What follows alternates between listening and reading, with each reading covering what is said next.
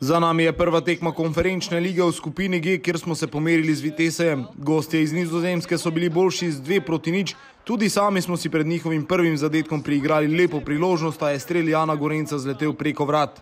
Evropski nivo konferenčne lige pomeni zahteva od vsakega posameznika maksimalen pristop. Uh, v prvem času ni bilo od vseh fantov tako, ampak to je stvar, v kateri se želimo naučiti, oziroma se moramo naučiti, v drugem času je bilo to malo boljše in ko pogledam vse skupaj, uh, glede na dogajanje, bi si mogoče v enem obdobju, ko smo imeli v prvem času eno dobro priložnost, v drugem času eno 10-15 minut obdobja, ko je bilo z naše strani dokaj, dokaj konkretnih napadov, mogoče so lahko iztržili točko, ampak uh, ko pogledamo vse skupaj, mislim, da je Vitez zaslužil zmago. Prvih 15 minut smo preživeli njihov pritisk, a je žal kasneje zmanjkalo nekaj več, da bi prišli do pozitivnega izida.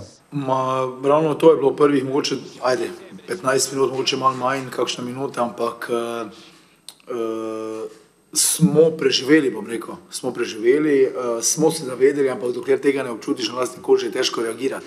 Zelo pomembno je to bilo, da smo potem nekako vzpostavili ravnoteže, igrali uh, v situacije, ki smo si želeli. Je pa dejstvo, da so bili danes igralci Vitezija za korak hitrejši, reakcija malo hitrejša, uh, malo močnejši.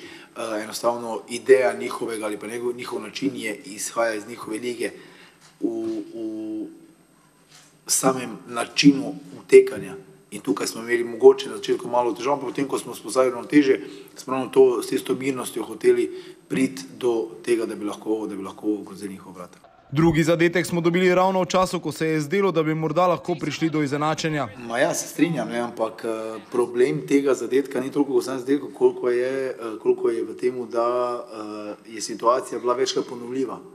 In to je na evropskem nivoju tako, ti rešiš prvo, drugo, tretjo, ti imaš četrto, ti imaš peto, ti imaš šesto, samo to, to možeš držati do 95, 90 minut, koliko tekma traja in to je ena stvar, v, v, v kateri želimo zrasti. Na vprašanje, če je razlika med kvalifikacijskimi tekmami in tekmami v skupini velika, Žiga Škoflek odgovarja.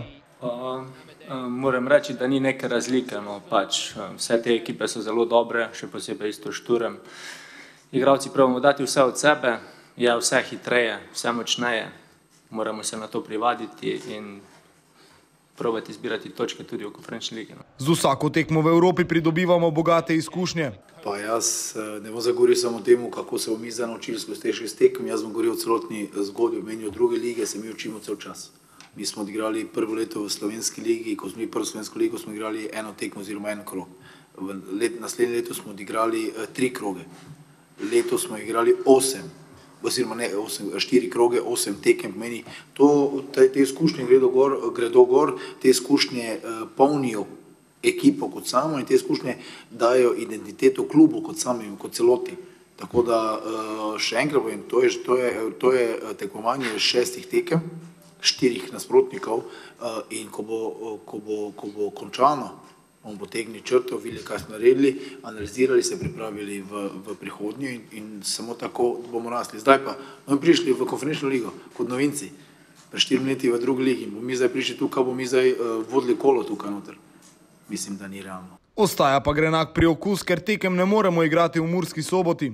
Fazanerija je le naš dom, no, tam je to navijanje še glasneje, še bolj nas podpreno, ampak moramo sprejeti to, igramo v Mariboru, tukaj bomo dali vse od sebe. To je to. Zdaj je potrebno ponovno hitro preklopiti v prvenstvo, v nedeljo bomo ponovno igrali v Mariboru, tokrat bomo v vlogi gostov.